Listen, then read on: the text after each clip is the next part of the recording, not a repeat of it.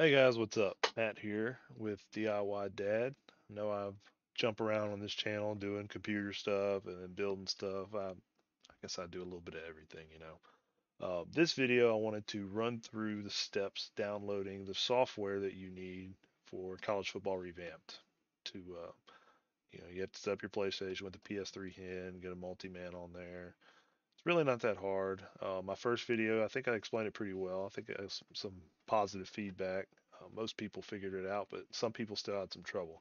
And it's not easy. If you're not very computer savvy, it, it can be kind of challenging. So I thought I'd try to make another video since they've updated everything since then. It's actually a little bit easier now, in my opinion, and I'll show you why I believe that.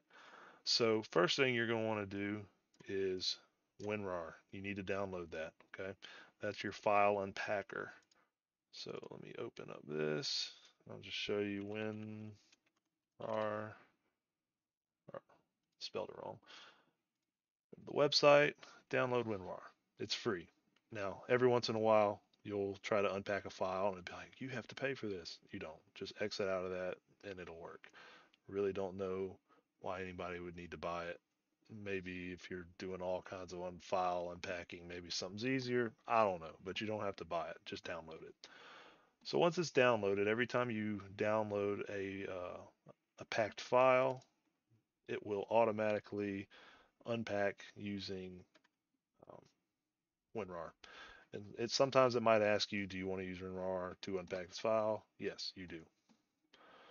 So well, let me walk through this. So once you get to PS3 exploit, you've got your 4.88 firmware. That's the newest firmware for HEN available. That's a go that goes with the current version of the PlayStation firmware, which is 4.88.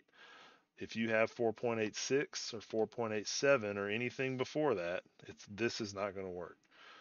So if I were you, I would just go ahead and update your PlayStation. I know there's for a little while. They said, don't do it, don't do it. Well, they figure out a way to have this firmware that works for 4.88. So you might as well just update it to 4.88. So once you have it updated to 4.88, click on your file here. It's going to bring you to this page. Scroll down. Right here, you have these three options to click on. It'll bring you to the place to download the file. I usually use MediaFire. So once you click MediaFire, it's going to bring you to this page. Download. It should start right down here, which I already have it downloaded, so I'm not going to download it again. But this is what it should look like. You have the little the books with a belt around them. Once it's downloaded, it's going to pop up under uh, in your it'll be in your downloads or sometimes it'll pop up on WinRAR. So I'm just going to go to my downloads right here. So this is the one I downloaded earlier today. What you need to do is extract it.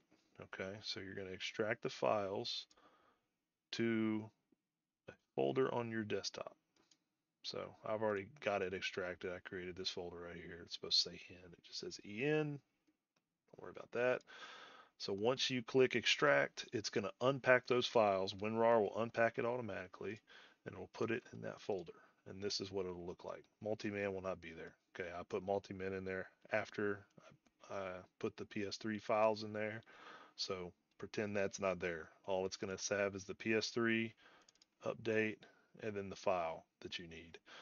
Now, if you remember before, you actually had to go in there and rename the file ps3 updat.pup. It's already done for you. I didn't have to do any of that this time. I didn't have to make any of those file folders. That's how it extracted. So they've uh, made it a little bit easier. That's what I was saying earlier when I think they've made it easier. Once you extract it, that's exactly what it's going to look like. It's going to have the PS3 folder, then it's going to have your update, and then PS3 update.pup. And that's it. Then you're done with that part. So put your USB in and drag the file to your USB. Now, multi-man, um, you're going to want that too. I've had this downloaded on my computer for a while now.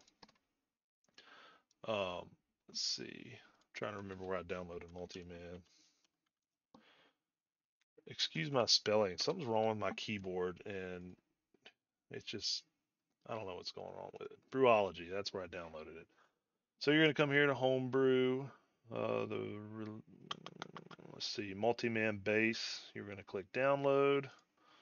Boom, there you go. Multi-man base downloading. I already have it, so I'm not going to re-download it. As simple as that. So multi-man is the program that helps you launch the uh, the modded game once you have it modded.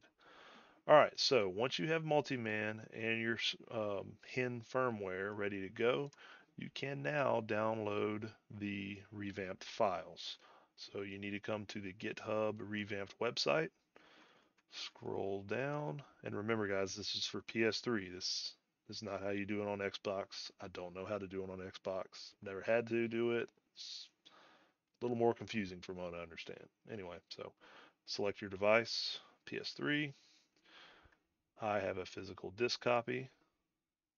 Scroll down, and then there you go. That's the latest version of the mod, part A and part B. So you're going to download both parts. I've already got those downloaded as well. And those are actually right here. So I'm going to go ahead and drag those into this folder. So this is what your folder should look like. Okay. So I've got part A, part B, and multi-man my PS3 updat.pup, good to go. That's all you have to do. Once that's done, make sure you, let's see, hold on, let me drag to my USB, plug in my USB.